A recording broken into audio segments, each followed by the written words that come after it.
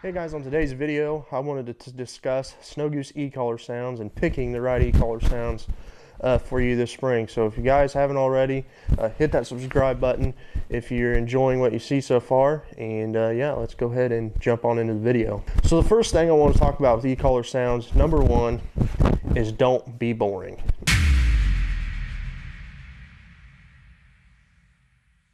And I mean that literally. Um, there's a lot of e-caller sound. There's an e-caller sound specifically I hear a lot on a lot of videos, and uh, it's that that uh, overpowering feeding gabble, and you with few honks. And to me, it doesn't sound like live snow geese on the ground. I've heard snow geese on the ground around here in the springtime, and it's just a mass of it's a mass of honks and barks and uh, it's it's just it's miraculous. I mean, it's crazy at how vocal they are on the ground you know, or on the water. I mean, they're just a very vocal bird. So whenever you hear straight, you know, feeding gabble with a few honks, it just doesn't sound lifelike. Especially for guys running over a thousand, two thousand decoys, it just doesn't sound. Uh, it doesn't fit to how many birds you're trying to portray on the ground with on the ground it doesn't fit. The sounds don't go together with that many decoys. So, I mean, if you're running 100, you know, 100 full bodies or just 100 decoys in general, I think it would fit a little bit better, but I've still, I've heard 50 geese sound more vocal than that. So, um, but number one, don't be boring and sound like live snow geese. The second thing I want to talk about is finding the right e-caller sound to sound like live snow geese.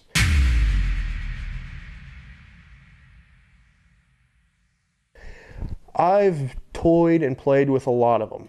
I've had a lot of different ones on the market. Just about every e-caller sound you can buy, I've I've had it, and um, or I've listened to it and uh, made decisions either not to buy it or it just didn't sound right to me at all. So, uh, picking the right e-caller sound is to me is trying to sound as lifelike as you can as you can get. And it, all of them are record most of them 99% of them are recorded snow of live snow geese but i think there's a point in finding the e-caller sound where you want to sound like the the image you're trying to portray to these birds.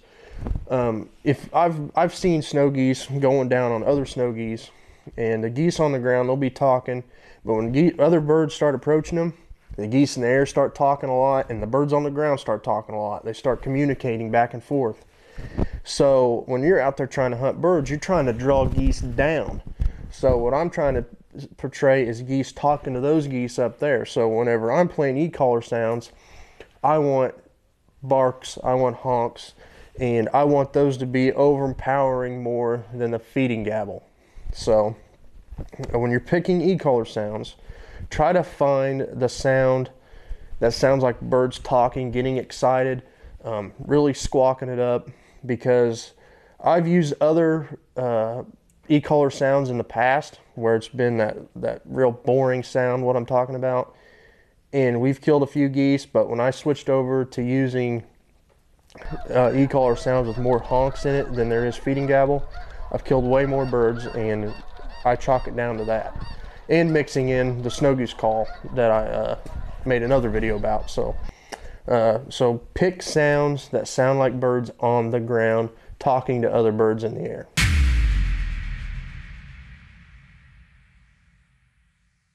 So three, which sounds should I, so which, what are my options? So uh, the e-caller sounds that I use is snows down low uh, barking orders. Uh, the one track I love on there is Dueling Devils. It sounds like two geese talking back and forth, and it kind of portrays that um, talking to geese up in the air too. Um, I've seen geese, you know, working and working, and my e-caller track will switch because it only runs in a you know a certain amount of time.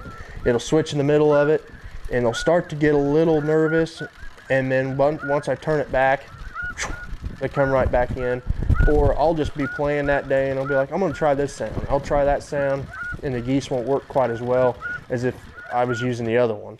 Um, I don't know if it was just coincidence, but it just seemed like I've had way better luck with the Dueling Devils track on there, and that's what I use exclusively now. And some other options is you've got Snow Talker, Um, that's a big one. Snows on the Prairie. I've used Snows on the Prairie for years. Um, those are the, the three that I would recommend.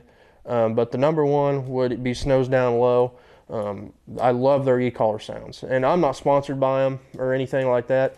I just really like their sounds, and I love. I just it sounds like r- just what I'm wanting to. Li- that's it sounds what I'm trying to portray. I guess I'm trying to say here. It sounds what I've heard in on the ground in past. You know, watching snow geese feed.